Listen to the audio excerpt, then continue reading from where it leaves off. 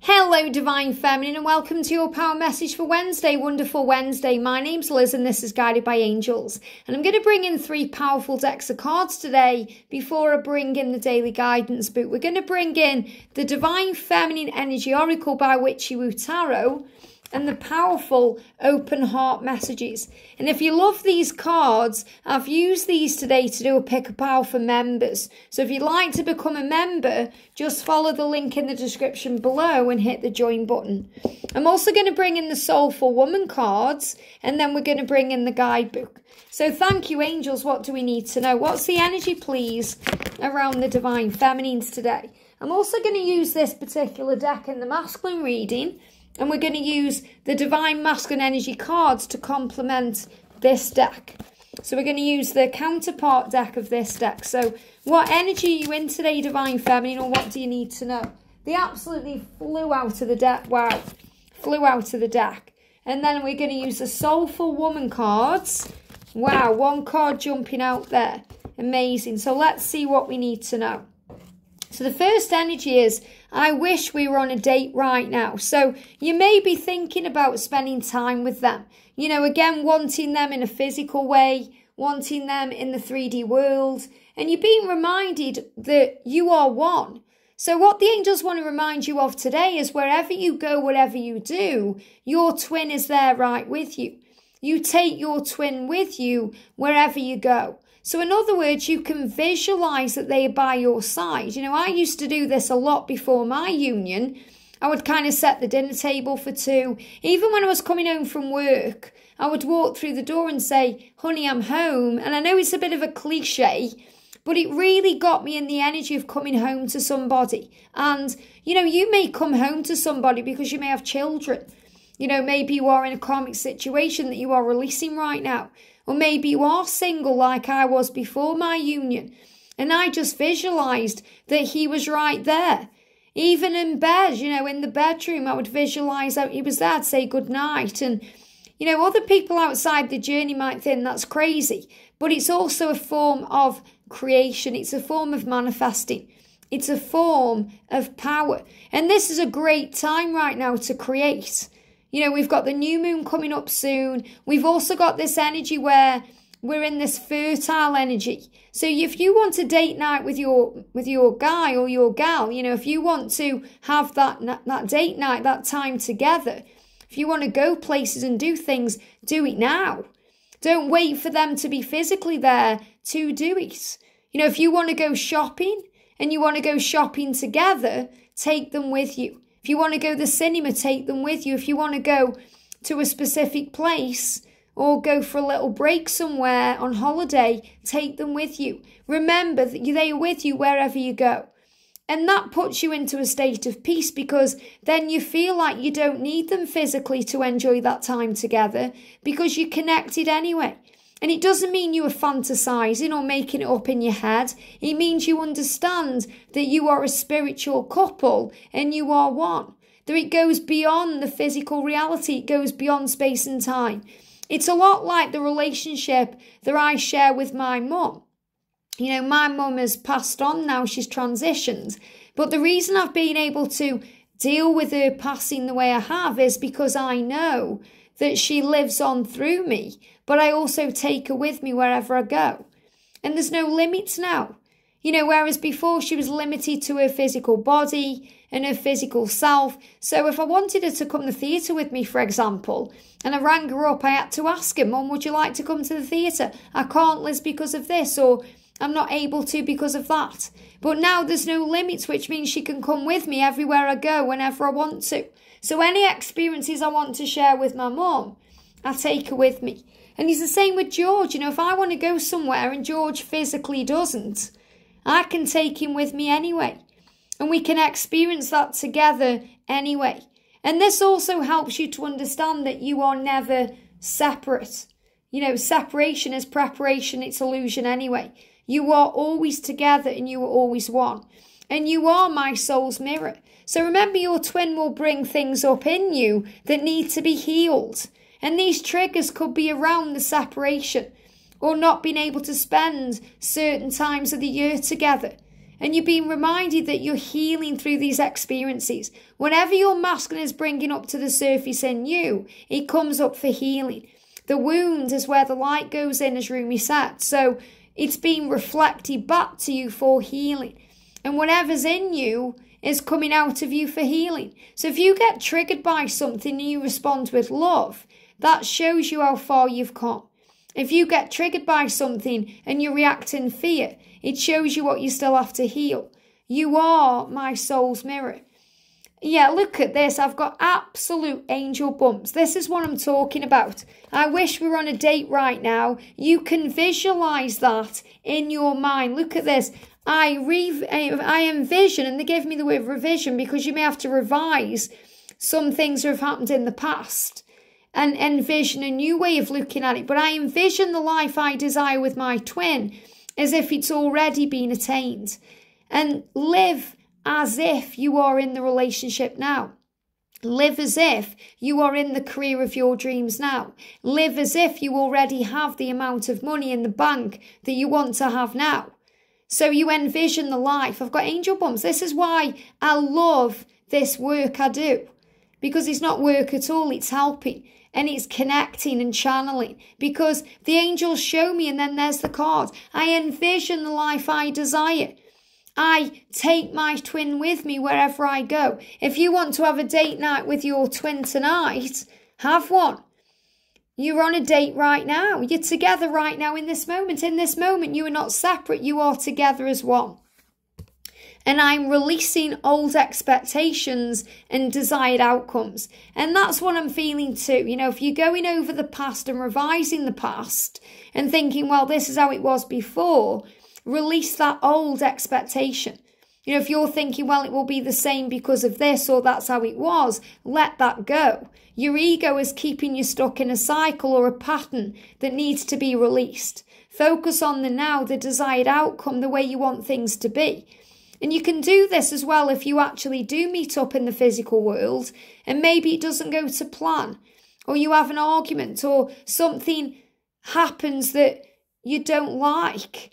When you go to bed that night, you can go over it in your mind and envision it the way you want it to go or the way you wish it had gone.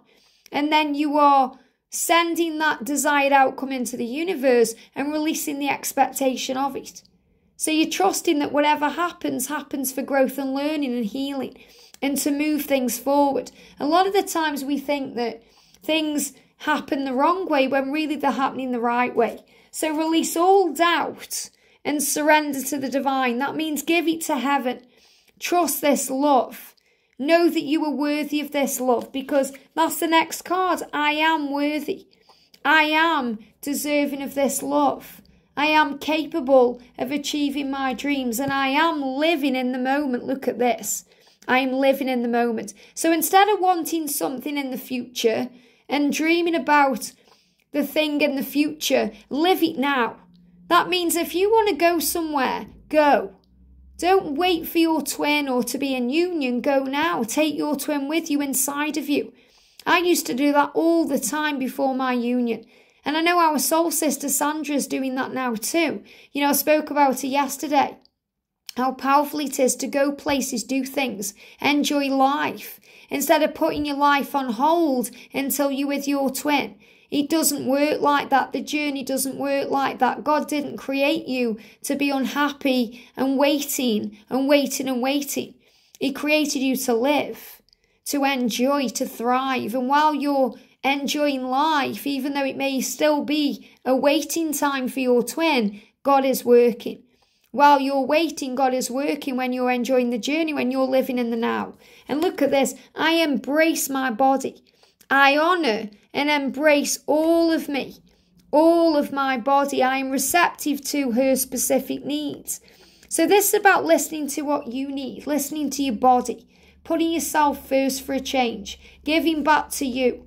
I honour myself and I embrace myself in all ways. I embrace this life in all ways. I embrace my beautiful body and I'm receptive to my body's needs. I listen to what I need. I trust myself. I trust my intuition. I feel at peace. I am ready. And this is how we heal. This is how we learn. This is how we grow. And then you feel whole again. You feel connected. So I love the green energy in this because there's lots of healing energy, but there's also not lots of natural energy. So connecting more with the natural self, connecting with nature itself, going outdoors, doing things you enjoy. You know, when we go out in nature, no matter what the weather is like, we feel refreshed, we feel revitalized, we feel cleansed. So let's see what it says in the book today. Oh, I've got angel bumps. Honestly, so amazing. The message today is spend time in nature. Wow. It says, We angels have been counseling you to spend time outdoors among the trees, the plants, the birds, and fresh air because we can see the therapeutic benefits for your body, mind, and soul. So remember, even if you can't go out, you can bring some of nature inside. You may buy a nice plant or flowers, or you may put nature sounds on the radio or on your iPod or listening to them on YouTube. The angels will help you to put the energy of nature into action today. No matter what else you have planned, we suggest that you spend time in a natural setting. Even if you live or work in the city, there are still parks, trees, and grass that you can visit. And I love that about London. You know, even though London is a really busy city and there's lots of buildings and commuting and things going on, vehicles, there's and there's lots of people, there's still beautiful parks. You know, when me and George go to London, we always make sure we go in a park. You know, sometimes we stay in Euston and there's a beautiful park literally a two minute walk away that we go into. I think it's called Tavistock Park. And the great thing is as well, you know, if you guys are thinking about coming to my event in London in May next year, where the venue is, there's obviously some great hotels around there, but literally a two minute walk from the venue, there's a park. You know, me and George love to go to um, a restaurant called Crazy Salad, and that's literally five minute walk from Euston Station. It's in a place called Russell Square. It's kind of between Euston and Russell Square. And the thing is, in London, the tube stops are literally minutes from each other anyway when you're walking. So if you think the tube stops are far away, you know, if you think there's a big gap between Euston and Russell Square, there really isn't. You know, it's literally a five minute walk. So there's so many amazing things to do around the venue. And depending how long you're coming for, you know, me and George are going to be in London for the whole week. You can see us and spend time with us for the whole week anyway, depending when you come.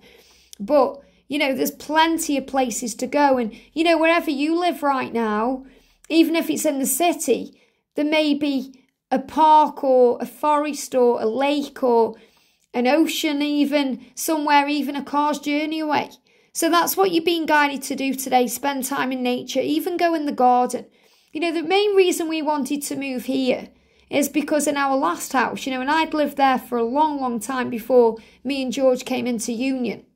You know, I was in that house for 10 years on my own before George. And the garden I had, it wasn't really a garden. It was kind of, I had a yard at the back and then there was a gate and then kind of a communal garden thing and it was all overgrown.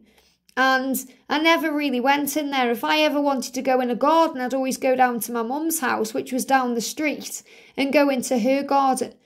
And obviously, you know, I can't do that now because she's not here and the house has been sold. So we wanted to move to a house with a garden. We've got a lovely little front garden let me see if I can show you actually. We've to lift the camera up. We've got a lovely little front garden. And we've got a really nice back garden, which we didn't have in the other house. So, you know, even going in the garden, even if it's just for five minutes, brings back the power of nature. Because nature releases the tension that comes from straining to match up with the timetables of too many calendars and schedules. That's what it says in the book. It says it releases the tension from the physical world, you know, your life.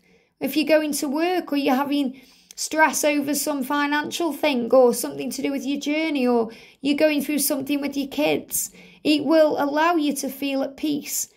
You aren't a machine like a clock or a watch, and pushing yourself to meet deadlines pulls you out of your natural rhythms and causes you to feel fragmented, awkward, or disorientated.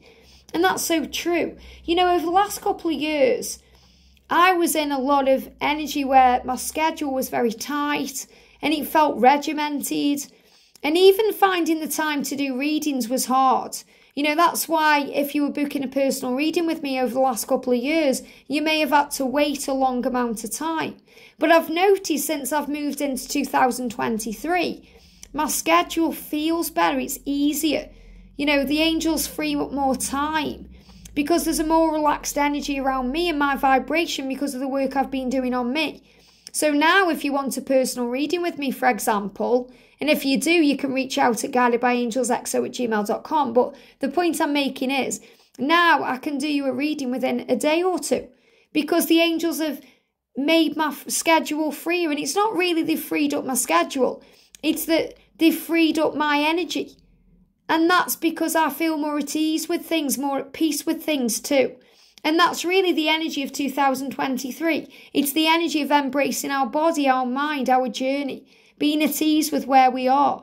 So you may also find that that this year you've got more time. You feel easier about things, freer, because you're moving into this powerful energy of change and they're giving me fear. So you're releasing fears. And if you still feel like your schedule is chaotic or a burden, you can call on the angels. Just finding this channel right now, if you're new here, will help you to feel at peace because you'll realize you're not going crazy. You aren't misunderstood. You are seen, heard, and understood and strong. So today, allow the outdoors to heal the pressures and tensions in your life and revive your sense of self. Recapture your instincts for good timing by placing your feet on the earth, leaning against a tree, and breathing in fresh air. So make time for yourself today by going outdoors. And this may be what you need to embrace your body, to breathe in the air, to feel at ease. And as you breathe in fresh air, you'll feel revived and refreshed. Give yourself the gift of nature. Very powerful. So give yourself a gift today, the gift of nature and feel empowered because you can go wherever you want to go with your twin right now, as if you're on a date right now, by envisioning the life you desire with your twin as if it's already been attained. And knowing that anything that's coming up for healing is, you know, is just that it's a lesson, it's growth, it's a mirror. So things that are coming up into your awareness that may be triggering to you need tweaking. And you can tweak them by releasing expectations you know, when we expect things to happen a certain way or we expect our twin to behave in a certain way, we get disappointed. So instead of expecting, anticipate. And that brings in desire. And I release all doubt and surrender to the divine. So give any concerns, cares, worries to heaven. Spoke about the, that yesterday. Pray.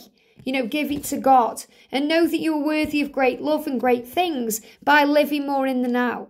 And that allows you to embrace your body, embrace nature, spend time in nature, and honor and embrace yourself and listen to what you need and be receptive to that. And that's what you need to know today.